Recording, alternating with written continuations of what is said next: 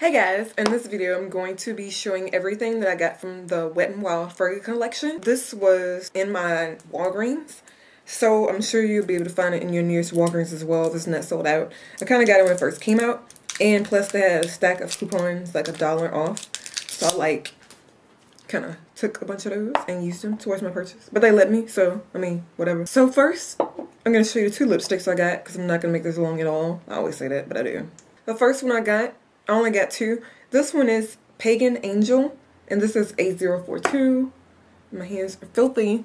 What a surprise. The first lipstick I'm going to show you is called Pagan Angel, and it's the black one. I don't know how good this one is. I didn't even swatch it, so this will be my first time swatching it. And this is what that looks like it's not really bold at all because you know I had to really really really really really really dig into my hand to get it this dark. So with this type of color I would definitely use like a black lip liner or black eyeliner to line your lips before putting this on. The other lipstick I have I'm going to show you is Bebo Love or Bebot Love. It's just a nude color. That one's extremely pigmented. Look at that it's beautiful. It's like a nude pink that's all the lip products I got from the collection. I'm now going to show you the three eye palettes I got. I've used two of them in tutorials. This is the Maldives Sky palette. It has the most gorgeous bright colors in it.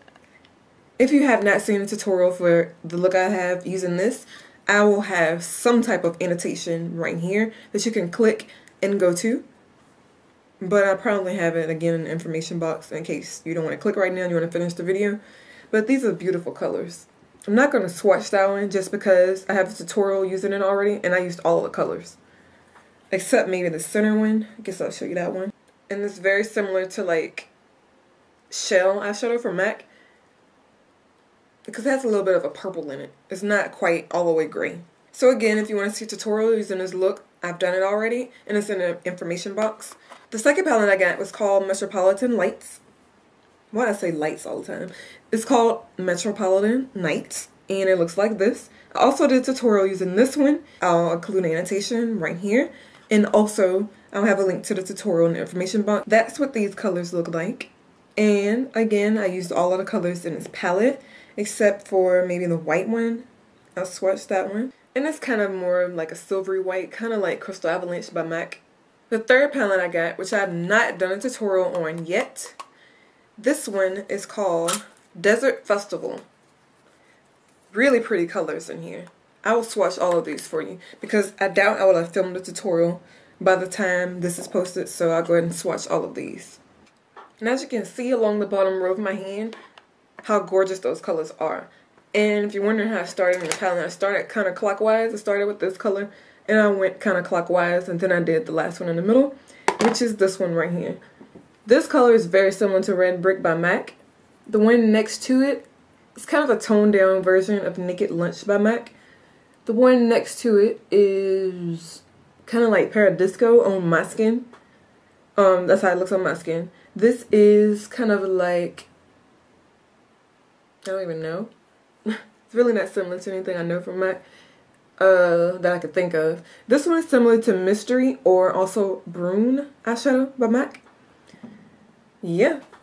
I'll go back to the other palettes too and tell you what I think those are similar to. Can't afford MAC, then you could still get these and still have the same colors pretty much. So back to the Maldives Sky palette.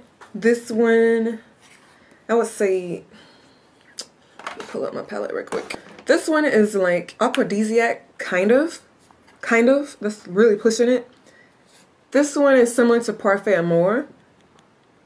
And these are not dupes. I did not say dupes, but they're pretty similar to the colors I'm mentioning. This one is similar to Submarine, maybe even Freshwater, maybe.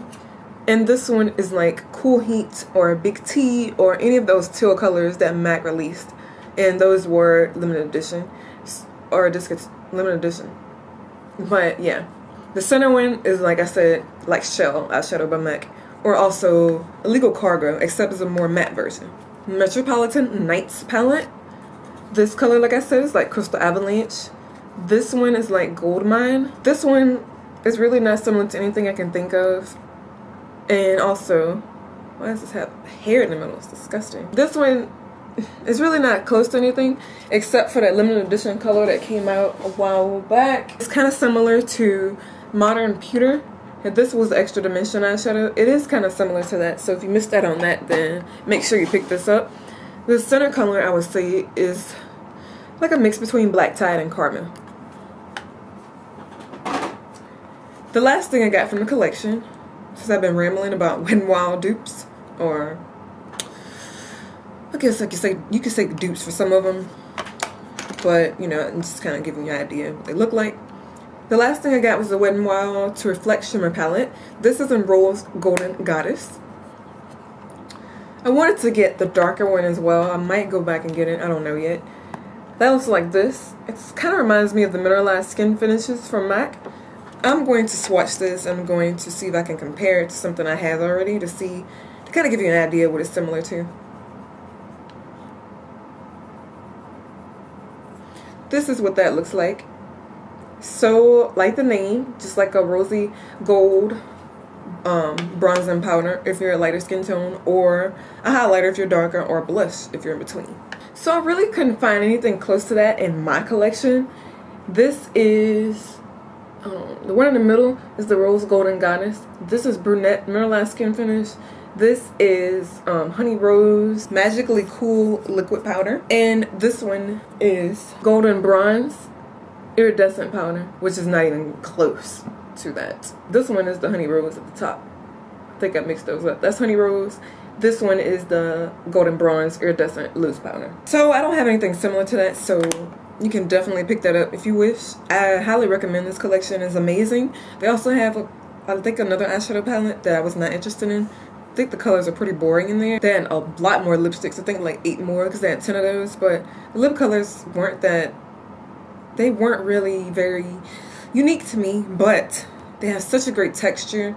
They're not as drying as the original Mega Last lipsticks if you have those those were kind of drying a little bit not too drying on me but they were very dry I, almost like a matte finish but these are more like a satin creamy finish so I really like the finish of those lipsticks the eyeshadows are very pigmented some of them you have to work with put them on top of a great base but as long as you have patience and the proper brushes then you shouldn't have a problem with that at all powder is not that unique to me honestly I mean if you really want a product that's kind of similar to a mineralized skin finish then I do recommend these but this can easily be duped to me. I think that's it. Overall, I really like the collection. It was a nice collection that they released. If you want to see links to tutorials I've done so far using these palettes, feel free to check them out in the information box. And also check out videos that I posted prior to this one. That will be in the end of the video in an end slate. So I will talk to all of you soon. Thanks for watching. Hey guys, in this video I'm finally filming my Bond number 9 giveaway or contest. This is the one I'm giving away. I'm giving away Washington Square. This is a 3.4 or 3.3 fluid ounce, I'm sorry. And this is the full size. I'm not going to take it out of the package.